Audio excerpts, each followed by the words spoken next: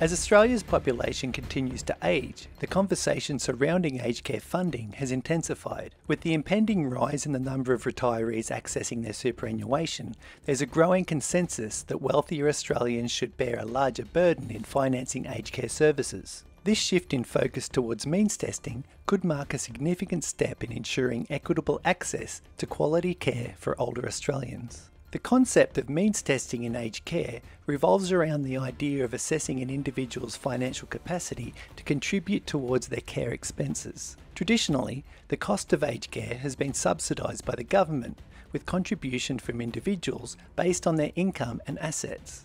However, as the demographic landscape evolves, there is a pressing need to reassess the sustainability and fairness of the current funding model. One of the main reasons driving this call for change is the projected increase in the wealth of Australians due to the superannuation system.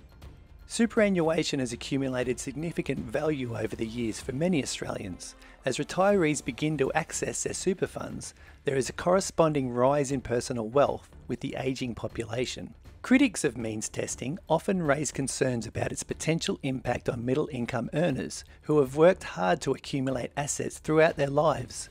They argue that imposing additional financial burdens on this demographic could undermine the incentive to save and invest for retirement, potentially exacerbating the issue. However, proponents of means testing argue that the current system disproportionately benefits wealthier individuals who can afford to pay for their care without relying heavily on government subsidies. This is an issue sure to bring about divided opinion, so please leave your thoughts in the comment section below.